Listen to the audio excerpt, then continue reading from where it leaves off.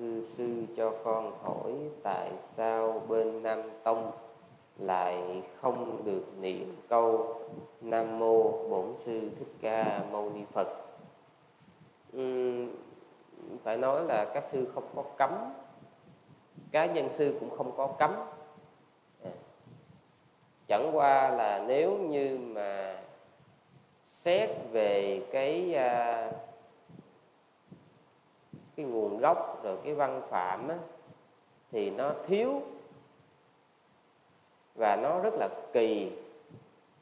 Bởi vì cái từ mà nam mô á, là từ cái câu từ cái chữ là nam mô à, như là nam mô tát xá đó thì nam mô có nghĩa là đảnh lễ.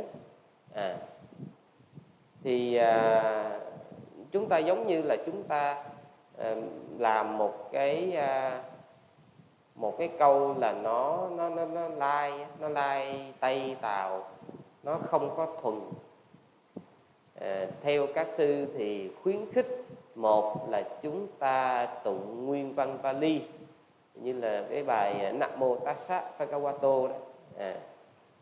hai là chúng ta dịch ra cho nó thuần việt giống như là tôi đem hết lòng thành kính làm lễ đức Bhagawa đó à, tại vì cái từ Bhagawa đó là nó có nhiều nghĩa.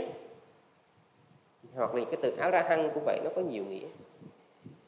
À, thì à, khi mà mình dịch ra như thế là mình dịch nó trọn vẹn.